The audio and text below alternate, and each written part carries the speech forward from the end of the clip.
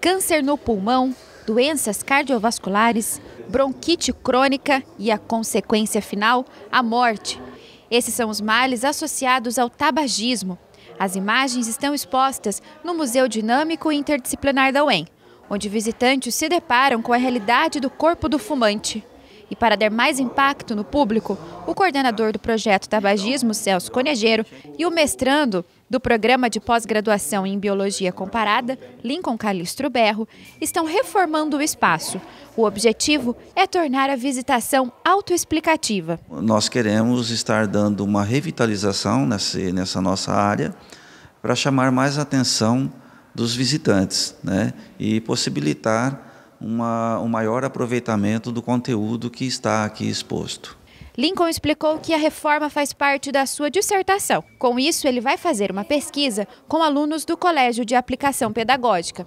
Como os jovens são esse alvo da indústria, nós vamos estar utilizando como população de pesquisa é 120 alunos de nono ano do Colégio de Aplicação Pedagógica da UEM, o CAP, e nós vamos estar realizando essa pesquisa antes da exposição e depois da exposição. Então, antes da exposição, os alunos vão passar aqui por uma visita monitorada, eles vão ser encaminhados a uma sala, vão responder um questionário. É, na realidade, vai ter um pré-teste e um pós-teste, né? um questionário antes da visitação e um após a visitação.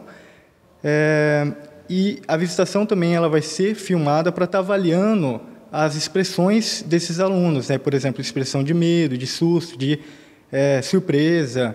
Então, vão ser avaliados todos esses aspectos antes da reforma da exposição e após a reforma, para nós estarmos delimitando aí a, o quão melhorou essa exposição.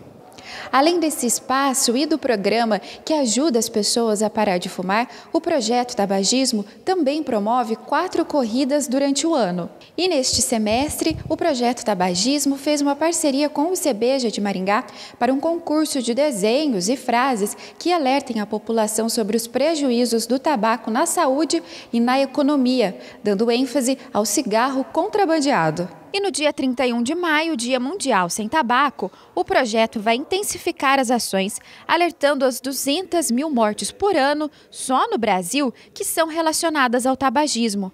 E dando enfoque também ao item muito utilizado pelos jovens, o narguile. Grande parte da população mundial estará recebendo informações com mais, é, com mais impacto, né? a gente acredita que vai ter um, um impacto maior e nós, aqui na universidade, também não deixaremos de estar atuando de uma forma é, a, atingir a nossa comunidade. Estaremos é, distribuindo material informativo nos portões da universidade. Então, os alunos, professores, funcionários que estarão é, vindo para a universidade nesse dia, eles estarão recebendo esse material.